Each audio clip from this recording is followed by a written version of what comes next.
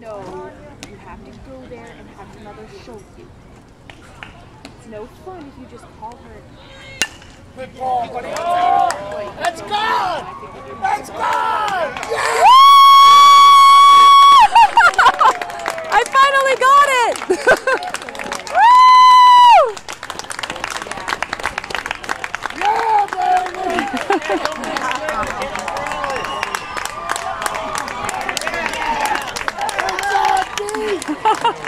Job, Dad!